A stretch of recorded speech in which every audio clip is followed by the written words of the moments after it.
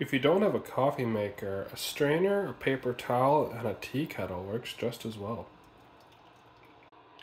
Also, coffee is way better with honey.